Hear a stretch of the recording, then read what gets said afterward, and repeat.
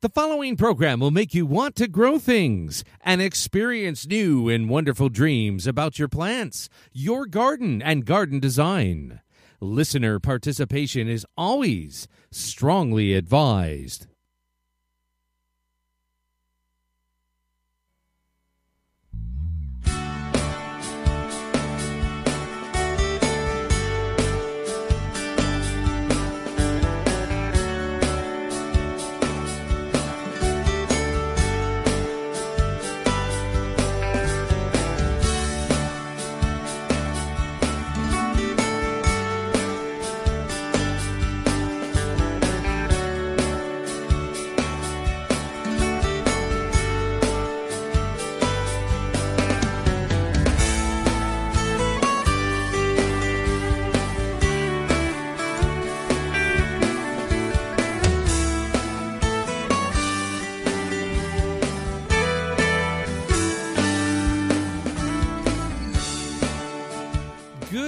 Evening and welcome to Down the Garden Path with your hosts, Joanne Shaw and Matthew Dressing, right here on Reality Radio 101.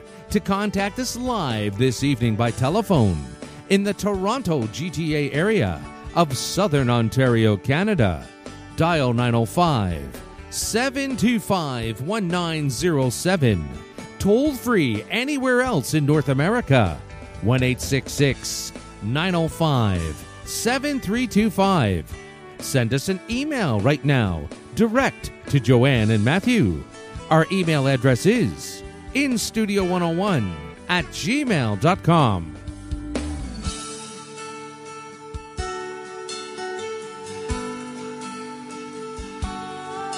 And now, right to your hosts of Down the Garden Path, Joanne Shaw and Matthew Dressing.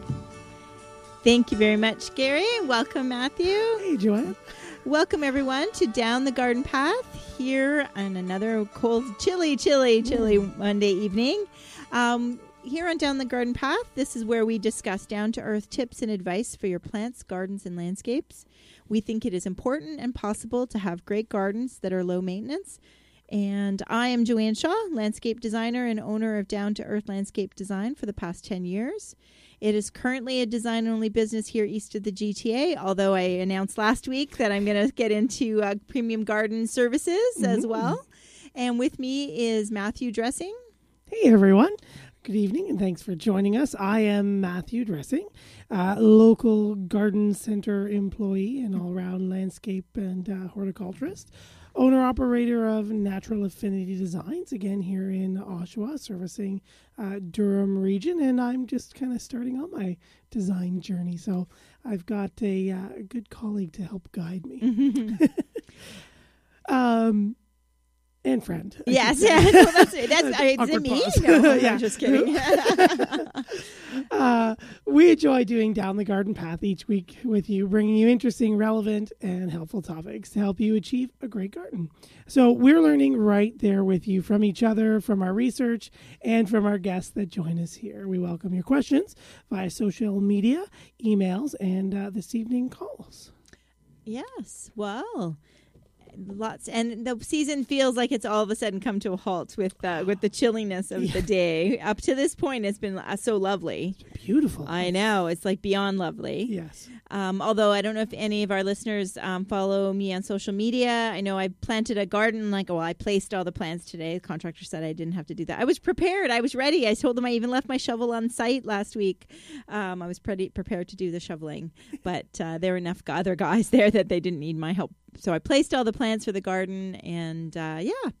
So October thirtieth, unbelievable. Unreal. The day before Halloween, and I know. planting. I know, I know. So, uh, so yeah, so that's what's you know lots of happening this time of year. And if our listeners note, this is the last Monday of October, so this is when we talk about November in the garden, Right. right? Our little uh, regular episode, Monthly thing. yeah, monthly thing. a little weird doing like a November in the garden being so warm. I know, I know. Usually, I think, yeah, we would talk in past years. November in the garden was would probably be a very different show. Right. This this year, most leaves are still on the trees. Oh, that tree's getting green. Yeah. And uh, so it really is. Uh, you know, we when we talked about it in our prep for the show too, it's a little bit of a October in the Garden delayed repeat. but uh, we have lots of other things that I'm sure we can cover. But if you as listeners have questions or have um, comments or any you know anything you're curious about in your own garden Yeah. or that you're reading about in the you know anything uh, Yeah. please uh, feel free to send us an email uh, we'd love to hear from you or post something on social media um, we kind of try to check our phones when we're, Yes. uh, when we're we try to multitask. Um, but yeah so uh, so what else are we going to talk about? So we, or the garden center has anything you know we like to talk about you know what i always i'm always curious to know what are what are uh, customers looking for or what any issues Yeah, you know they're right now they're still looking for because we're kind of in that in between time. The fall planters are kind of looking shabby and and mm-hmm. ready to turn over, but it is still too warm to do the winter greens. Mm. So everyone's kind of searching for what do I put out there, and they have dinner parties and you know Halloween and things like that. Yeah. So we're kind of in the in between there. Greens are just slowly arriving and being ready. Uh, on the insect disease front, everything's kind of cooled off and quieted down. The crazy hornets have vanished, and a lot of people coming in with uh, leaf diseases still that maybe they've left to the end, or they're coming in for their dormant spray kits because yeah, they had an issue or a fungal or a disease issue earlier in the year. right And now's the time as the leaves start to drop. It's time to get ready to to be Oh, ready for that. I think it's going to be a short window if it drops because Yeah. it's turning so quickly. Because you can usually do it as long as it's above five degrees and a gradual decrease. But I think we're gonna. See, and I thought we only did that in the spring, but we can't. You can't do that in the fall. Yeah, you can do that in the fall too. And the the lime sulfur hort oil combo actually does, which is the dormant spray kit, if you're Right. aware, uh, actually has a summer application rate too. But you remove certain plants from it that you can't use on it Okay, because when in leaf, it'll damage all the leaves. right. Yeah. So, what would if uh, what would someone be spraying the dormant kit for right now? Yeah, if you have any overwintering insects that you know that were on on your, if you have scale, for example. Okay, scale on euonymus, scale on. Yep, you could have Okay. oyster shell scales or other soft-bodied scales, magnolia scale, things like that. Okay, Any just overall general like leaf scabs or fungal issues. If you've been hit really hard with powdery mildew, that'll help reduce that. okay, Yeah, get rid of all of those things. Hmm. So yeah, as long as I always say, you know, let the leaves drop, let those leaf scars close over, so you don't have little spots of, you know, the leaf scars make little funny things on branches, little Mhm. droplets get, and then lime sulfur can burn it. So give it two weeks for them to callus over and close, okay. um, and paint it on every two weeks as long as it's above five degrees.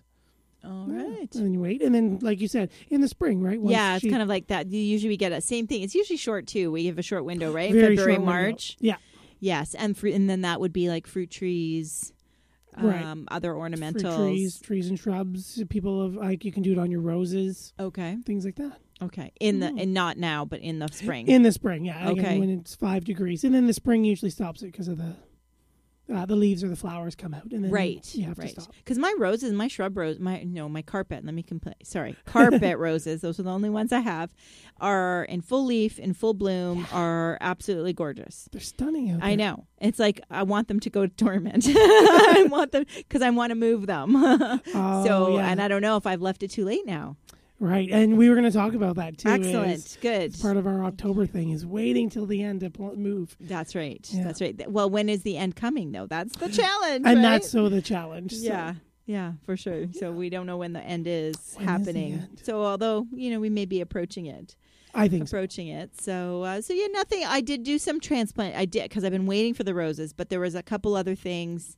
I transplanted a peony and a because we've told everybody that they can do that now, Mm. and another shrub, uh, another dwarf viburnum. I um, I uh, transplanted that into a new lo- new location, but really it's it's the roses that I've been kind of like just patiently Itching waiting for, and uh, so it's not happening. It's not happening yet. So uh, so we'll see. We'll see what'll happen, but then that's pretty much you know I did do the dormant spray, and then I loaned I loaned I gave the other s- sponge to a neighbor, and he did his. The nematodes. The nematodes, yes. What did oh I said dormant, dormant spray. Sorry, nematodes. The nematodes. So um so yeah, so I'd say my garden is kind of on hold. It's finally looking like fall. And uh yeah. nice. So Yeah. My yeah, mine's about kind of going to sleep too. Yes, your Planted a few containers. perennials. Yep. Okay. getting rid of the uh, containers and things like that. Um, I, I have a tip for just doing the greens if Okay. you haven't gotten rid of your fall containers yet. Um, yeah. So just kind of cleaning things up. The leaves are falling. Finally, the squirrels and the chipmunks are becoming a little less active. Okay. So I'm itching to plant some tulips. But yeah, other than that, it's kind of fall is on her way. Slowly Yeah. cleaning up all these leaves. Yeah, for sure. I mean, I don't know what's going to take because it was really windy today too, but nothing was coming down. No, no, there were very little leaf fall. Yeah. Yeah, it was surprising. Yeah.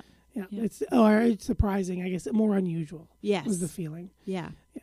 For sure. For sure. Yeah. So, uh, yeah. What else is happening? What else is happening? Well, that was my garden. How about Nana's so- garden? Yeah, and, and Nana's garden too. Yeah, I, that was the, mainly the one that I was Oh, talking okay. about. But Okay. yeah, in my balcony, I'm just kind of closing off my pots. Um, I've got my garlic in, getting that to grow. Are you going to do it in pots? Yeah, I'm gonna try it in pots. Yeah, um, Larry, a mutual friend of mine and Joanne's, Yes. gave us uh, or gave me some European garlic that Oh, this is his famous garlic. Yes. Yeah. Yes. So I've got two bulbs that I've Okay. broken and planted. So I'm eager to see how they're going to go through. Okay. And you know what? I have a question for you too. Is I um, I have I had done up a couple of pots. Those they're cer- uh, ceramic pots that I know I need to bring in, Mm. and I did um, succulents in them. So I made these two gorgeous small and medium, especially after my trip to uh, my on the garden fling. Yeah. I made these pots, and so now, and I know I, ha- I think I have a sunny enough window that they're. I'm sure they're not going to like love it inside, but I think they'll be okay. Yeah. Um, and I know I started. So at first I thought, okay, I'll put them in garbage bags because it's getting rid of the insects, right? Mm. So um, then like all these earwigs come out, and then I'm like, oh man. So is like, and will insecticide do the trick? I move them into the garage, feeling like I would sl- like so that way I can slowly move them into the house. Right. Um, but should I insecticidal some soap? Is that really my best thing? Yeah. Um, for the smaller soft bodied, those common ones, I would do the insecticidal soap. Okay. If it was bigger things like millipedes and earwigs, I like to use uh, End-All. Oh, okay. Just for the pyrethrin because they are. It's the only one that we have out there that'll kill the Japanese beetle. Okay. So it tends to kill the heavier bodied shelled but you have to see like them because I don't see them. Like I just think there must be in the soil. Right. So then you've got to spray, right? The, to hit, you got to shoot to kill. Okay. Right. So then if you don't have that, um, if you've got like the gap around the pot, for example, you know, like the soil contracts a bit Oh, and they okay. tuck Okay. themselves in there, you could just spray it on the edge and have it kind of dribble down. Oh, okay. And okay. hopefully they get poisoned or sick and slowly die that way. Okay. Uh, or the other thing is diatomaceous earth. So mixing in the diatomaceous earth- earth in the sides where they may be crawling, so they'll either crawl through it or eat it, uh, or the same thing at the bottom of the hole. Okay. You know, pushing some in there, or even just soaking into the bottom. Okay. Kind of have to get them that So way. So I should pick up some End-All then. Yeah, because I didn't. I thought I had something. I didn't have anything in stock in, in my at house stock. at house, yeah, So I had to buy something. So I wanted to find out what was the best thing to buy. yeah. So End-All. Yeah. Okay. and then other things I like to say is, yeah, like they're usually earwigs or little pill bugs that crawl in the holes, right? For sure, for sure. Because yeah, they were just sitting on the like I have like natural stones on the sides of my steps, and that's Yeah. where they were sitting. So Yeah. It wasn't like they were raised on something or on a table or anything. They were definitely you know ground level. Right. yeah. So um, I've even said to people, um, you know, just taking like a wire, like an old coat hanger or something sharp, and just kind of etching in around the holes, poking them in, because you'll probably puncture them oh, okay. or stab them, and then they can't move, and they'll just die, and the plant will eat them, or they'll Well, wash out. Anybody just tuning into for that last statement, Yeah. I wonder what the heck are we talking about, I don't know, right? walking into a conversation. Yes. Um, yes. Yeah, or even doing that with just an old kind of sharp garden knife, just around the sides, just kind of crush them and okay. kill them that way, or flooding them. Well, you know it's trick because it's succulents too, right? So like they're cascade, like it's kind of tricky, and they're very, they're very fragile too. right. So, uh, so yeah, so I could see kind of poking, but I think the the end all might be the best thing to do. Yeah, I like the End-All. I mean, if it kills a Japanese beetle, Yeah. she's pretty much going to kill them all. so, All right. Um. So break time, and then yeah, maybe we'll get I think so. so we're gonna yeah, we've got lots to talk about as far as November in the garden. So um, yeah, so why don't we pause for a commercial break here on uh, Down the Garden Path on Reality Radio 101.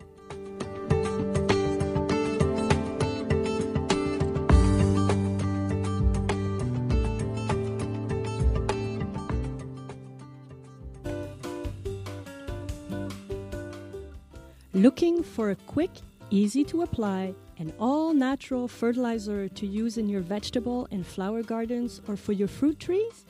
Why not work with Mother Nature? Layer hen manure is a terrific fertilizer, and this is what Actisol does by transforming the manure from their egg farms into an efficient fertilizer. The manure is dried using a technology that harnesses the heat given off by the hens. No other heat source is needed. Actisol is easy to use, safe for the environment, children, and pets. You can purchase Actisol products at your local garden center or order in bulk. For more information, visit www.acti-sol.ca. Actisol, the mother hen fertilizer.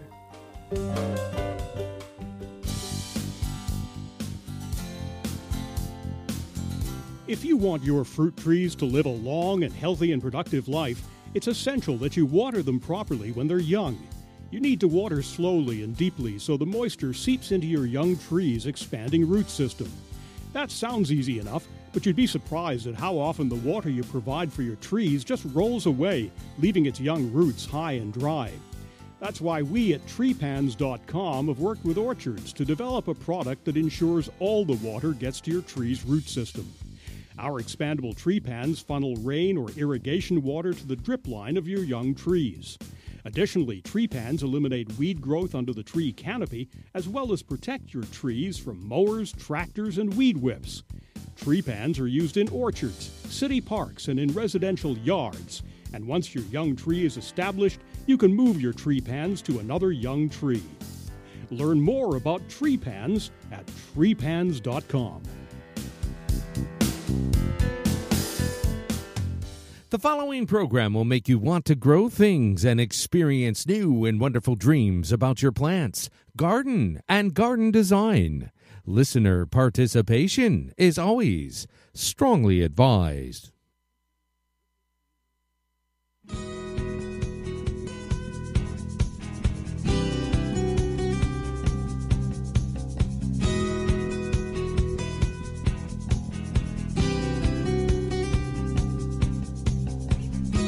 Welcome back to Down the Garden Path with your hosts, Joanne Shaw and Matthew Dressing, right here on Reality Radio 101.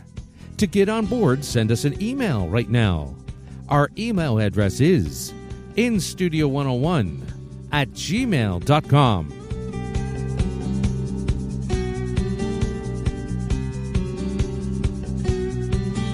And now, right back to your hosts of Down the Garden Path. Joanne Shaw and Matthew Dressing. Good evening, everyone, and welcome back to Down the Garden Path on Reality Radio 101. I just wanted to start off by saying uh, hi to Andy. He wrote in uh, wishing us happy Halloween, and it's very cold. He's writing in from Belleville, Ontario.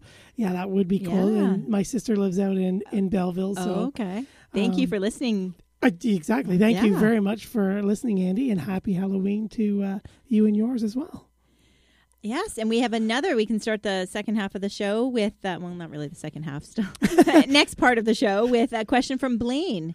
Um, he, uh, they, he is asking about shrub roses. Um, is it time to now to prune them, and if so, how far back? Yeah. Um, yeah, I no. I mean, you don't really need to prune them really at all. Um, I I feel the same. Unless you like, unless there's like a couple like huge long limbs, Right. Blaine, that that are like gonna be you know crushed in the snow. But if if it's all fairly compact, like uh, there's lots of varieties of shrub roses, so some get bigger than others, right? exactly. Um, but my advice is not to. Ditto. Yeah, I mean, unless it's really causing you an issue, or you know, it's just really ugly and misshapen, or you know, you know you've got a lot of dead in there. She's happy just doing her thing, and she's gonna perform without any touching, like low maintenance Yeah, because they're pretty hardy. They're very hard. Yeah. Now, anything? Does there need to be anything mulched at the base or anything? Because they're again, they're hardy They're stock. super hardy, yeah, and you don't even have to protect them like other roses. Mhm. Prune them, just enjoy their rose hips and keep out any dead just for general health. Yes. enjoy. Yeah. So yeah, unless she's jumping out in your way, Blaine, um, yeah, you're pretty good just to kind of let her do her thing. Yeah, and I think the bonus there is the rose hips. You know, you can get some nice fall color when it's, Right. it starts to lose its leaves. The beautiful winter interests. You can Yeah. collect them for your winter urns if you do that kind of thing. And, Yeah, depends how thorny your Y- your, oh, yeah, your that's rose a is. little, Yeah, might not be need- so. an iron gauntlet just to get them. Yeah, so hope that helps. I hope you're okay with that. Let us know. Uh, so yeah, so that's uh, one of the things. I mean, so as far as roses go in the November garden, Yeah, I mean, unless you've got really a real one that you need to protect or needs cutting back, that kind of thing. Um, yeah, I, I mean, it's going to be that time.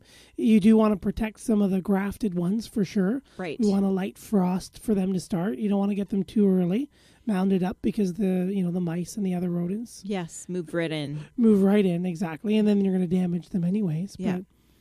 But mm, Okay. other than that, we'll just wait till a good frost and, and prune them back depending on which one they are. and it's been varied. That usually when we when we get a frost, we all get it. But we really like I haven't had one in Pickering, No. but I'm hearing that you know Oshawa and east of here and north of here certainly has gotten one. Yeah, I've gotten one at the apartment, but my grandmother, who's a little further east where I garden, she was protected enough that our garden didn't get a frost, Uh, and it was it was very hit and miss where she was in that area. Yeah. So yeah, like look for like a real, like we've got a frost we advisory. call it a killing frost. thing. Yeah, because Right, my nice my annuals are still good. Like you know my begonia. I don't want to take my begonias out because they're still looking great. Yeah, uh, which is yeah. Yeah, in fact, I planted uh, coincidentally planted orange begonias at my front door, and they are looking great with my pumpkins. Oh, so it's still looking good. So yeah, it seems very very strange for it is- sure. It is Yeah. weird. Yeah, I mean, I've even got like impatiens still. Mm, The Wallery in, in window boxes. and Okay. they're they're doing fine. Wow. Yeah. So this is a very different November in the garden show. It is. Absolutely, absolutely. So should we still be watering? I know we've nagged everybody to death about this rule. Nag, nag. Yeah, and if you haven't been watering or you think you've been watering lightly, still for sure. Um, make sure. I mean, people are still at the garden center buying evergreens and planting Oh, them, boy. and yeah.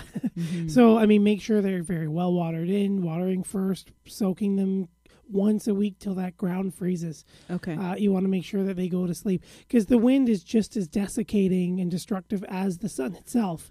So the sun vanishes, so the drought's not there, mm-hmm. but the wind is going to dry you out. yeah. That's Just- interesting. Mm, just kind of like when we go out on a windswept day and you know we get the red cheeks and then yeah, we the start dry to peel a lips bit. and stuff. Yeah. right. Yeah. So imagine, yeah, your skin is leaf thin Mhm. and you don't have any water to quickly replace it. So that's where you get that, you know, the evergreens especially. They like to show their damage the next season. So you wake up in spring, the cedars made it all the way through. yeah. Beautiful. I loved it. Oh, the winter didn't do a thing. It gets warm and suddenly she burns on one side instantly. And that's her winter wind damage showing through. Yeah. And Japanese maples too. I would think that's something that you know they're they need they do need a bit of extra moisture. For sure. And um and you're not going to see the damage. You're not. It's not going to die like now. It's going to die in the spring. Right. Right. Yeah, um, I know. I, I've talked about my addiction to my tree gator, and uh, so I have a I have um, three Japanese maples. So I have a butterfly Japanese maple, which gets fairly neglected. Like it's got lots of other plants around it that are established, and so I kind of forget to baby that one a bit. Right. Um, but I did. I kind of had to like really. It's very multi-stemmed, kind of close to the ground, so it was kind of tight to get the gator around it. But I did give it a deep watering. um, but I've got one of those gold ones that you know, like full moon, like Oh, where it's yeah. got. And this is the second year in a row where, and I'm wondering if this is a water issue because it too is around established plants. Um, it because it, because it's gold, it gets a great fall color, but mine gets partly fall color and partly they just curl up And go, yeah, that and brown. sure. So is that is, have I not uh, watered it enough? Yeah, or it just gets super windy and suddenly, and Yeah. she starts to burn out that way too. Because yeah, it should. It looks like it has such great potential, and then it's like, oh man. And last year I thought I lost it, but it did come back, and uh, yeah, and they don't even fall off the tree; they just kind of brown up and stay on the tree. Yeah, and that's a sign for your trees too. A healthy tree will drop its leaves, even when brown. Okay. A stressed or a damaged and usually dead tree will hold on because it's the closing of those petioles on the leaves and her drawing in her energy that she pinches them off as she closes them. okay. So when they're dead, though, that usually that opening is also dying or stressed, and it just sits oh, Okay. there. So I need to tree So- gator that one. Yeah, yeah. Okay. Give her some more tree. We you know we should have them on the show. yeah, I know because I keep promoting that like Yeah. crazy. I get nothing for this. Let me just tell you. I just think I think the convenience is brilliant. It's a great I really product. do. I, I think it's a great product, so that's why I keep talking about it. And it's and like I said, I put it around my hydrangeas. Like I put it in loosely, and and you know, definitely, I think there's lots of purposes for it. So, uh, so for sure, for sure. Um, so, what else should we be doing this time of year? Yeah, if you haven't yet already, we can continue to add compost and manure and other organic matters to to your veggie gardens, uh, to any other gardens that maybe needs a little extra nutrition or building up as well. Uh, I know a lot of people that I've been talking to in the garden center lately. They're actually still pulling weeds out of their veggie gardens, and they haven't turned them just yet. So Oh, okay. still time to kind of do that as well. You can add and things like that. Um, another thing would be sorry, I just lost my thought totally. That's okay. Uh, and just thinking about the veggie garden, people are asking for gardening spaces about corn gluten. so they're Oh, getting okay. ready for putting soils and things down, but they want to make sure that the weeds don't come back. Mm-hmm. So they're kind of half and half about the landscape fabric. Please, God, no. No, exactly. Sorry, right. I No. said that out loud. Yeah, yeah, exactly. My outdoor voice. but and it's not as breathable as we think, right? It's not like burlap, Sorry, are they talking about putting the landscape fabric in their vegetable gardens? right? To just prevent the leaves. To prevent weeds. the weeds and and And then things. next year they would take it off? No, they're kind of a few of them are thinking they're just going Oh, to leave no, them. No, no, no, no. Right. Okay. Right. Yeah.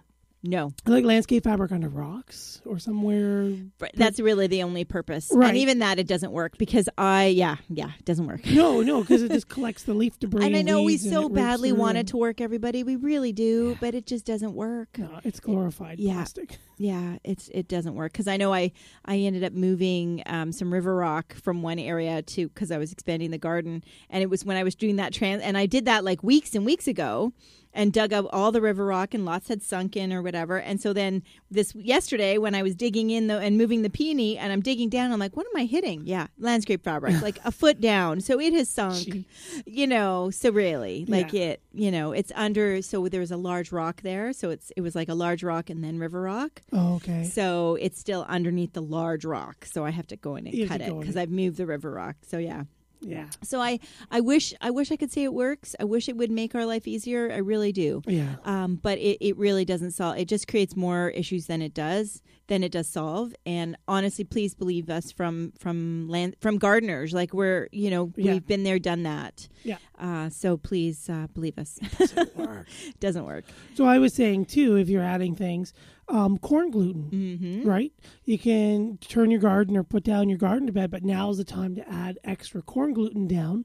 It'll start to dissolve and put in the protein into the soil. Okay. It'll winter and give you a stronger shield when you add more in the spring and prevent the weeds. And a lot of people don't think to use it in your garden. right. I wouldn't have thought that. Right, and it'll work in any open soil. You might need a little more because the grass plants are going to help you crowd out the weeds and fight Okay. that battle. But yeah, adding corn gluten on your finish layer, uh, kind of like the last thing you're going to do.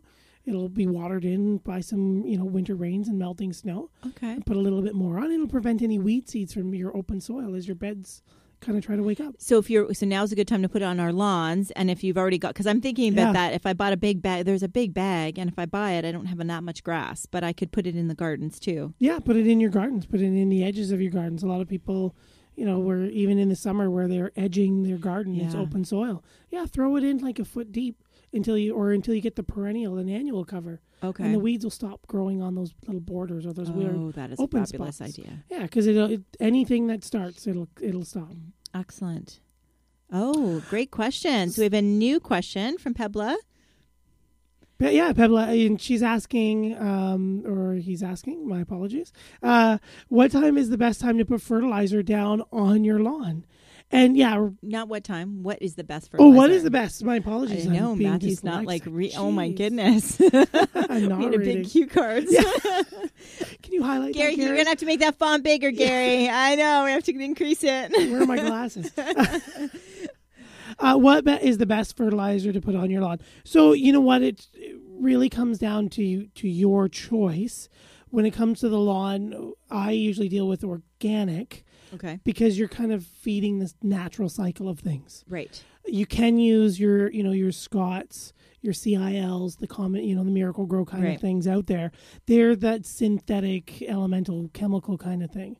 So th- when you're really trying to give a burst of green and feed things in, I say go, you know, you're more your synthetic. Right. You know, it's a quick hit. But It's for fall, we're not really looking for a, hit of green necessarily. We just want it to do well over winter, Right, right? right. So for right now, yeah, I guess it's, continue reading, Matthew. For right now, yeah. So if you do have a weaker lawn, you can do a synthetic, but make sure it's a fall Right. fertilizer because it's going to release and give you that burst. And what are the numbers on the fall? Usually like a 10, 0, 16, or 18. You don't Okay. want a high first number. Right. Low first number, high, higher or equal last number Okay.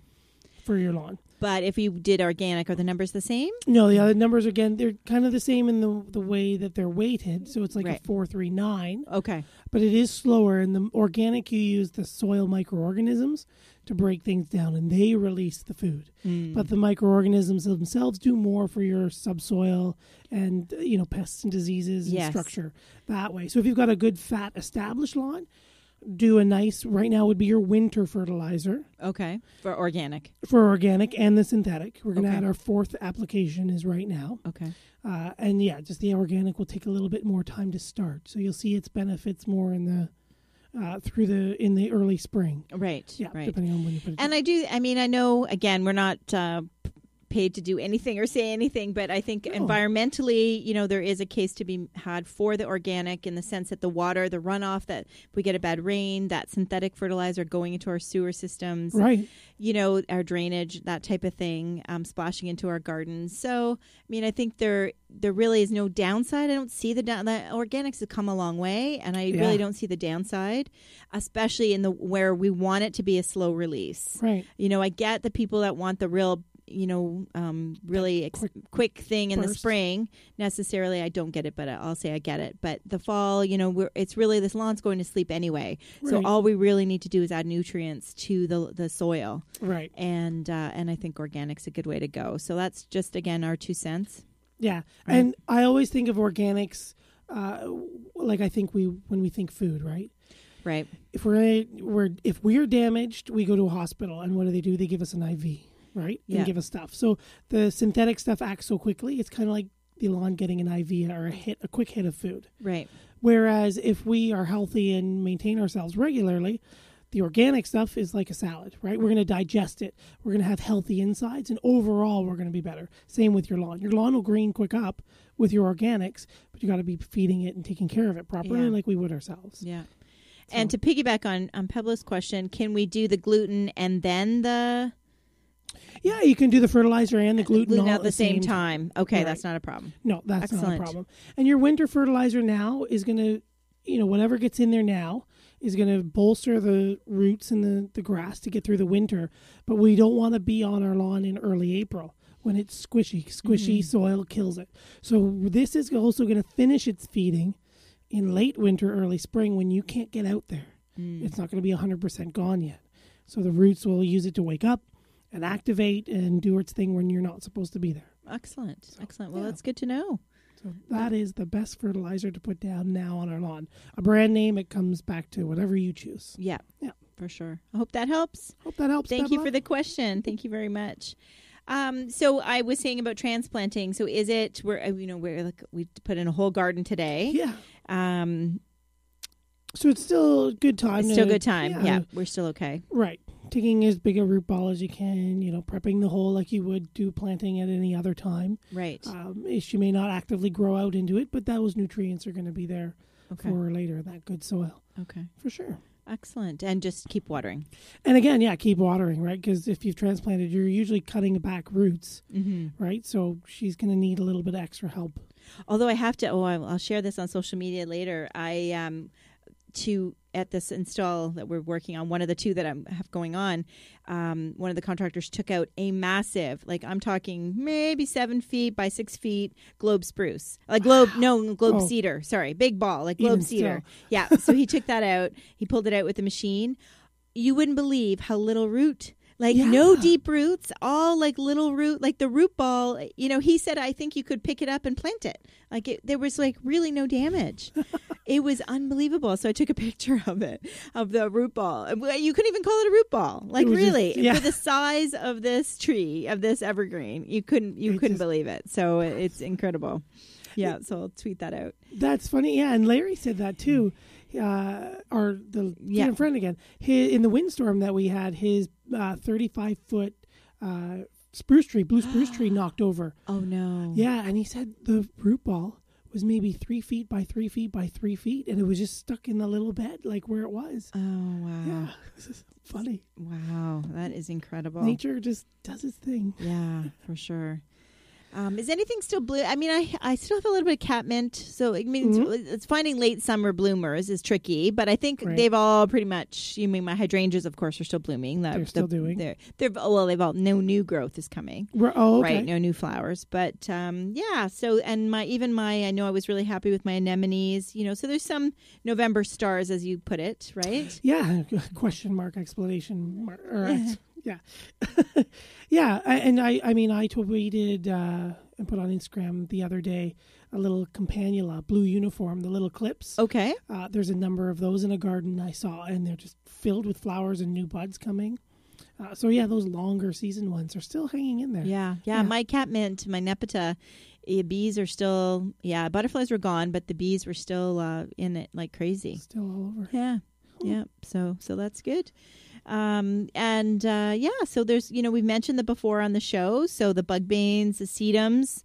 Um, goldenrod. I was reading today about the goldenrod um, being really like that fluff that kind of comes from it. Again, it does not cause it's not causing you the allergies. That's Correct. ragweed. Goldenrod is fine, but there's a certain kind of from the seed heads that, a and I forget the name of the bird that collects that bird that uh, material for its nest. Oh, Yeah, it was a really interesting article. So, uh, so yeah, so there's lots of different. To- I have never planted toad lily. I'm kind of curious about that one. I tried that at Nana's, but it was too dry of a shade. and Okay. she didn't winter. Okay. She did the rest of the year. She was okay, yeah. but she wouldn't winter in it. Yeah, so. my shade is dry too. Yeah. Okay. But they're beautiful. And some are fragrant. So, Really? Yeah. Oh, that's interesting. They almost look like they'd be a cool cut flower. Yes, yes, they do. Mm, you know. They do. Yeah. Very Yeah. cool orchid like. Yeah, that would be an interesting Yeah. cut flower. Yeah. wonder if they'd last. Yeah. Interesting. We're gonna try that. I know, I know. And so, in addition to transplanting this time of year, it is approaching. And so, I haven't done this yet. I've got. I bought the ba- I bought the. Remember the bulbs I bought when I visited you? Yes. I still have. So planting bulbs. So now that the squirrels have kind of settled down a bit, now you think it's a good. It's a good try. yeah, yeah. Especially your tulips. For Okay. sure. Yeah, wait till the end of October, which it is the very end of October. Yes. Uh, Now is a great time to be planting them. Yeah. They're Okay. done their foraging. It's getting too cold for them, so they're going to focus elsewhere. So Okay. yeah, go out and plant your tulips. Plant tulips, a good oh, your alliums, Or your del- else, yeah, anything, your yeah. alliums, your daffodils, that type of thing. So, sure, so yeah. that is good. The tulips is a safety kind of reason. If you do it too early, they'll dig them up, right? So- Right, right. yeah. Okay. So yeah, plenty of times to plant the bulbs. Uh, I remember oh, ten years maybe ago, a little garden center I worked for. We wanted to plant some leftover bulbs. We didn't do it. We didn't do it. We didn't do it. And it was the second week of January, and the ice had barely settled in, so we were able to break through and plant our hillside Oh my goodness! filled with bulbs, and they all came up perfect. So. Oh my goodness. Oh my goodness! Yeah, goodness. so not too late yet if you haven't done it. oh no, no, for sure. And I, I'm sure Gary remembers this guest. Um, do you remember when we had the fl- uh, Melanie, the flower farmer? Oh yeah, yeah, on yeah. Melanie. Yeah, yeah, so I follow her on Instagram. You totally have to follow her. So they she has a fast video of they literally um, Dahlia May Flower Farm. They literally planted seven thousand tulips, and she showed how they did it. Like oh my goodness! And she had 7,000? seven well seven thousand in their hoop house, a total Yeah. of fifteen thousand. Oh my goodness. I know, and it was it was just incredible to watch. They she works so hard. They are doing Oh, such a it's- great job. And it's a small business, as she stressed, family. You know, and- and Absolutely. so she gives very personal attention and everything. Yeah, right? yeah, definitely. So she just inspires me every time I think I'm having a bad day, man. She is. I know. I know. Like I, I- Matt's looking at it. Like, isn't it unbelievable? so That's that's all for next year. All for uh, tulips for next year. So a shout out to uh, to Melanie. I hope we can maybe have her back on the show in the spring or uh, or in the winter actually, but uh, when she's not as busy, but she's Yeah. working so hard. And um, shop local for your flowers, everybody. That's my little uh, plug for the day. 400. yeah, because she's you know yeah she's just it's year three for her, and the weather has just been you know just challenging. So Beautiful. yeah, Wow, yeah. that's impressive. I know, I know. Definitely look that guys up. Yeah. Um. So why don't we pause? You want to pause for another commercial break? Oh yeah, uh, Because time Wow. is flying. I know. Whipping I by. know. Whipping by. And we've got lots to cover still. we do. We do. Okay. So we will be right back here on Reality Radio 101.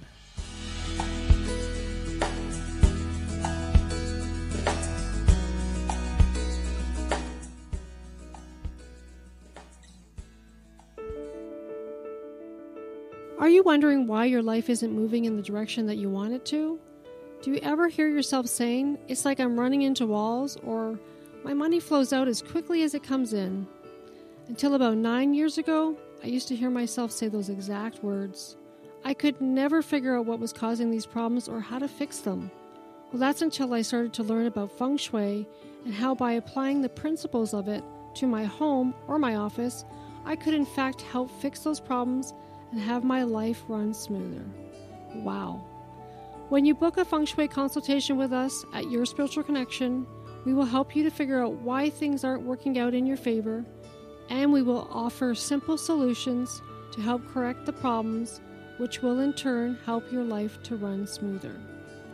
Contact Trish John of your spiritual connection at 905 391 8801 to book your feng shui consultation today.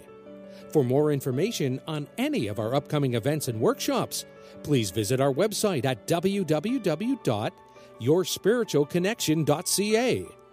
Your Spiritual Connection, helping you to make the connections in your life.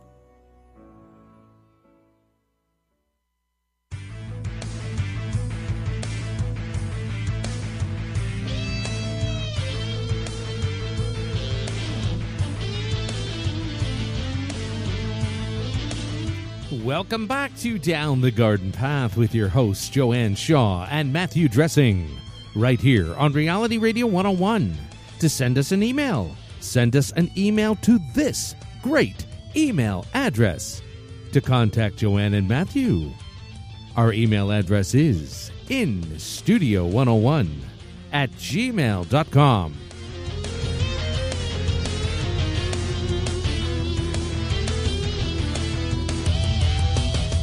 And now, right back to your experts of Down the Garden Path, Joanne Shaw and Matthew Dressing.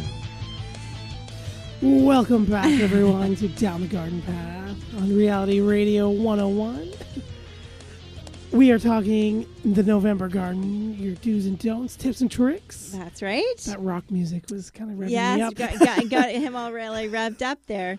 Um, and thank you for our people who've written in already today. That was great that we can help you. So that's what we're here for. So please, That if there's any other questions, uh, please uh, write us. We've still got time. Lots to cover. Lots to cover. And I was actually going to ask Gary. Oh, oh Gary. He's Yes, um, sir. Yeah, on the spot. Um, the emails, can guests send pictures? Yes, they can. There you go. So sure, just- they t- anyone who wants to do that, what Matthew suggested, if you have a problem, all you need to do is put in a yeah, well, a Yeah. pi- yeah, of course, Sorry. uh, uh, attachment, right? Just like to an email, just an attachment. and We can open it up, Oh, sure, that is and a you can great see it. question. I Yeah. Yeah, so if you've got leaves yeah, if you've got a question about weeds That's or great. a spot in your garden, plant ID. plant and ID. a video they can send as well as an attachment. Even if someone went out in your yard and shot a two minute video and said, "Hi, Joanna Matthew, this weed, I don't know what it is and I don't know how to treat it," we can open that up for you right in the studio as well. We Excellent. do that That and is post very cool. That is cool. Excellent. Well, okay. So for our listeners, Just so you know. yeah. So there's a variety of other things. If you do have a question, you can send us a picture. Um, but Yeah. yeah. Uh, yeah. So what else should we be looking at uh, in the next uh, couple weeks? Uh, another one that I think is pretty big is it might take some time is closing your pond. Ah, yes. Yes, closing your pond. A lot of people can get, you know, what do I do? What's important? Um, So, I mean, we've had Ernest from Mhm. Aquascape. On a couple times. Yeah. Right. Uh, so I looked up some just some notes that you know I had taken and then he had given in the past as we've worked together, uh, and just some quick things that he's shared with me to you know winterize your pond. Um, so you know making sure that you know you're putting your bed to weather or to your wow that got away from me, putting your Wow. pond to bed or sleep. Yes. um, removing leaves and debris. So making sure that anything falling from the trees, uh, leaves, debris, sticks, and things like that can get captured. Okay. So there are pond nets that, as the leaves start to fall, you can kind of staple around your pond. okay. Uh, it'll catch all the leaves, and then you basically just pull it off, dispose of all the debris, and it prevents it from getting into your system. So it's not going to get into your ponds and your pumps and things like that. So, uh, which also ties into trimming and any dead or dying foliage, because all of this stuff it sits there and starts to decompose in the water, which Oh, okay. you know encourages the nitrogen cycle Right. and can stress the water balance and can harm your uh, other plants, your water chemistry, and even if you, especially if you have some fish. right. Do people normally take the water down a little bit or no? Yeah, they some Okay. people like to drain off a third to make sure. Okay. Um, as long as you've got kind of like an edge, it's not right on on the edge. The water will freeze and it shouldn't you know burst over or Right. do anything like that.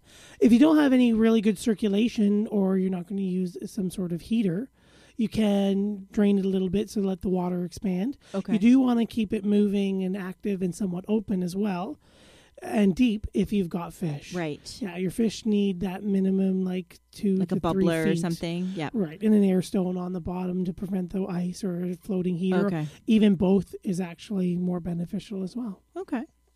Don't forget to add some more cold water bacteria. All right. Keep the system going. There is di- different bacteria that work at different times of year and do different things. Okay. And that's just readily available. Right. Yeah, Okay. and you can any like anywhere that sells Aquascape uh, or a local pond store, Okay. even some of your local fish stores, Mm-hmm. uh, they will also sometimes carry that sort of Oh, good to know. sort of thing for you. Um, yeah, those are some of the main tips just to kind of keep everything uh, going. And remember not to feed your fish as it gets cold and the water goes cooler and cooler. The fish kind of start to slow down and they'll feed lightly. But if you put too much food in there, that will throw off the balance as well Oh, and okay. can cause some issues. So They almost like like a like a bear or something. Like they're starting to hibernate, hi- hibernate, aren't they? Like yeah, kind of thing. Like they, they, slow, down, and sink and get protected and Yeah. act very minimally active. Yeah. Hmm. And then just making sure that you actually have healthy fish going into the winter. You know, make sure there aren't any diseases like ick or things Okay. like that that are affecting them so that the pond itself uh, doesn't go through the winter disease or other issues Right. get Spread. exaggerated and spread through the winter. Oh, okay. yeah. Excellent. So All just a quick thing. And, Yeah, yeah. For those of us that or those people that have water features Right. and ponds. Yeah, and exactly. If you have water features, make sure you drain them, let them air dry out before you cover them. You want as much of the water as you can and pull your pump out if you can as well. Okay. All right. Yeah. Excellent. Um, and speaking of put like other things to drain, so draining our hose now's the time to kind of dra- unless you're still watering evergreens, don't Right. drain your hoses yet. Yes. But uh, it is the time to kind of drain and store your hoses.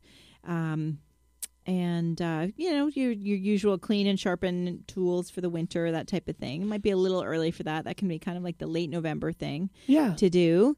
Um, I do think that um, one of my big recommendations for a November task is, and it's still too soon because we were saying the leaves haven't fallen yet, but that is if you have a, a Japanese maple in the last that you've planted this year and last year, um, to do the stake it and wrap the stakes with burlap. That's still, you know, till it's about three years established. That's still a really important thing to do, and but you do want the leaves to have fallen. Yeah. And again, you're not doing it super tight so that no snow gets in. Snow load from the top is fine. Moisture from the top is fine. You want the Mhm. stakes, you know, a foot or two feet out from the, the tree. It's really to protect that winter wind, right? To Right. get that plant established. Yeah, excellent. Yeah, yeah. Yeah. So that's uh, that's usually my big November, and you can buy the kit where it's already done. The burlap is cut, the stakes are there, the ties are there. It's easy peasy. Yeah, we sell that. It's just a quick pickup kit, Yeah. 20 bucks and away you go. Yeah. Yeah. Excellent. Yeah, Excellent. perfect. Yeah, and winterizing again, we were talking about the roses, you know, make sure that we get, you know, the leaves are falling, there's a good heavy killing frost. I like Right. how you use that term before we wrap things and Yeah. you know, same thing with cedars, burlap onto plants. yeah. we like to wrap them up tight in burlap. Burlap on plants can be very dangerous as well if they sweat or burn or things like that. So that whole staking and building a fort Yeah. or using things alternatives like your Wilt-Pruf, which is all organic, Mhm. things like that. Yeah, definitely. And Connie's written in asking about anything to do special for her perennials right now. And you and I are both on the same fence as to, you know, really kind of leaving our perennials. Yeah. Um, lots of reasons why. I mean, I think it depends. I know I have some cone flowers, and I know it's good to leave the cone flowers, but I have some that are like really tall and falling over, and and you know, so I want to cut some of those ones back. Yeah. So, Connie, I think if there are things that are like, uh, you know, really uh, um, lane, like rangy or rang, you know, high, and but other than that, I mean, I think if they create an interesting um, uh, fall interest. Mhm. Um, if they're peonies and the the leaves are all moldy, then Right. definitely cut them back. But if there's nothing wrong with them, then they're they're a really good place for insects and birds all winter long. Right. Good insects. Um, So I think it's worth keeping. I think there's bonuses too because in the spring you don't mistake it for a weed. You know it's a plant. Yep. You know sometimes when you cut things all the way back, then in the spring you find I've done it too. Like where I've just pulled all this stuff out and I'm like, where did that go? And it's like, oh, that was you know Oh, it was yeah. a weed. I thought it was a weed. Um, so so there's a few different reasons why. Um, definitely to and even if you maybe you don't cut it all the way back, like if you need do need to trim it, don't cut it all the way to the ground, so that Mhm. then you, there's a little bit more cleanup to do. But there's like good insects that overwinter in those stems and. Uh, and I don't know if you saw the article I forwarded you. I found about this lazy gardener pledge, you know, to not like go and clean our garden spick and span, you know. So, um, so yeah, I can't think of anything unless you've got a specific one that you're concerned about, Connie. I can't think of anything that absolutely has to be cut back. Certainly, ornamental grasses can stay up. They provide great winter interest. The goldfinches love all the seeds. Um, as they do on the coneflowers and the black-eyed Susans, that type of thing. So, uh, Yeah. so yeah. Yeah. You you said Did it. I yeah. take the words out of your mouth? That's it. yeah, pretty much. I just yeah, when in doubt, don't. And remember, Mother Nature doesn't have a team of magical fairies pruning and cutting everything back, right? Yes, So, yeah. yeah. So, and if it's anything, only a thing I would say is what we're, we keep saying is if it's anything you've planted recently, um, Connie, it's just to water it. Um, with the exception, I think the only thing to cut back is hostas, you know, because they go so gross, They and gross, and you know, so uh, so yeah, so that would be the the one thing type of thing. But other than that, uh, yeah, I think Yeah. everything is good. So, and you had a tip. Thank you for your question, Connie. Thank you so Oh, yeah. much. And uh, you had a tip for the winter. So, you know, our fall container, all our containers, right? right. Um, and it's still too soon for the winter because the greens aren't even in stock yet, are they? We got just like Sti- just the beginning of like okay, a like few boughs just stuff. to kind of Yeah. let people know. Okay. Yeah. Okay. So, what was your tip that you were telling me about? Um, Yeah, your annual planters. yes. Yeah, so if you have fall planters or even summer planters, um, In I- containers. in containers or anything like that that you like to put your greens in, don't rip out all of the annuals and the soil and start fresh. Just cut down the annuals or whatever you have in them Okay. to the ground and use the roots that are all bound in that soil to help brace all your greens. Excellent tip. It'll help freeze it and hold them all upright, and you don't have all that loose falling over with the weight of the branches. So Yeah, because sometimes people wonder. That was my question too: is what do you do with that soil? Like people go like want to dump it out, but where do they do they dump it in the garden? It's got all that vermiculite in it. Yeah. Do you comp? It's too heavy to go in the paper bags. But really, the best thing is to kind of leave it. Yeah, just leave it. Just cut off your annuals to the ground and stick all your branches in for added support. Excellent. Yeah, we love it when we do customers like that, and it's just mowed down because it's just so easy. Oh, good. Do people bring them, them 'em to you in. for like that? Yeah. Oh yeah. wow, The that's great. Odd people will bring them cut there or like fully just like for us to cut, Okay. and then most people bring them like cut down and just yeah. okay. Well, that's good to So, know. yeah, a great tip. Yeah. Excellent. I think. I know, I know. And birds, we had Lara. We've got a couple minutes left, barely, but uh, don't forget about uh, the birds. I know we haven't had a show recently about bird feeding, but uh, Mm. now is a good time to, you know, wash out your from your summer feed and anything like kind of prep that. I know I have. Um, I need to plug it in. I have a little winter. Um, one of those uh, bird baths that I can plug in. Oh, okay. yeah. So it'll keep water for them in the winter, Yes. that type of thing. So yeah. Yeah, and if you love birds in the winter, the birds with the, all the frozen ice and snow, birds really are attracted to an open water source mm. because they still have to drink. So if Yep. you can get some open water somehow, They will love your yard. Excellent. Excellent. Well, that's good. Good. Yeah. So yeah, lots to talk about. I I mean, I think we covered a lot. We, I mean, again, some repeats from what we covered in October. Some repeats. Yeah, definitely. But we want to thank everybody for uh, writing in. Yeah. And uh, we've got a couple more shows left in our season, so we're excited. do. um, so next week, or no, not next week. Oh, so yeah, next week Next week. you're doing a solo show. I'm on holidays. Yeah. I'm going to talk everything about uh, Brace yourself, everybody. Brace. I know it's it's, and I apologize. Tomorrow's Halloween, That's right. but we are going to talk Christmas trees, Christmas trees, artificial and real. artificial and real. The differences, the benefits. You know Yes. what's out there. Yep, and I know there's lots of um, misconceptions about the art, the new artificial trees and stuff. So I'm I'm looking forward to uh, what you tell everybody about Yeah. uh, all those misnomers out there. um, so that is great. So I think that'll be a great show. Yeah. I know it's early, but then then you have the information if you're looking for a new tree or if you're trying to decide what to do, um, artificial, real, that type of thing. So I think it's better to have the information earlier versus later, You right? got it. So I'm sure you and Gary are going to have lots of fun with that show. We Get your questions ready, Gary. I already do. Okay, good, good. And then on November 13th, um, we have Daniel back. He was from Harris Seeds. He was here um, talking about seeds, and but he also mentioned that he was part of the WWOOF program, W W O O F, and I won't, I don't remember what that stand for. Do you remember? No. Or yeah, world. Yeah. Anyway, we're going to learn all about this program for anybody out there who wants to travel and loves working in the garden. I think this is a really cool program, and he had a wonderful experience, and it's kind of led his changed his career path. And uh, so I'm really looking forward to hearing more about that program. So it's kind of, you know, there's not much left in the garden for us to do, but we wanted to bring you, we still want to bring you some interesting topics and uh, educational. You know, like we said, we learn, we're right with you, right? yeah. We knew everything, it wouldn't be any fun anymore. That's right. That's right. It's got to give us something to do in November to research, research some of this stuff. So, uh, so yeah, I'm looking forward to it. I'm really looking forward to it. He's a great me too. guest. Might be packing my bags right after that show. That's right. Yeah, there, there you go. Taking down to down the garden path on the road. yeah. that's right. Matthew, So- live from Australia. That's right. So, uh, so yeah. So, thank you everybody once again for listening to another episode. Um, yeah, And cute. thank you. Go ahead. Oh, I just say, and I'm Matthew Dressing here with uh, Joanne Shaw. on Reality Radio 101. Thank you for listening to Down the Garden Path. thank you.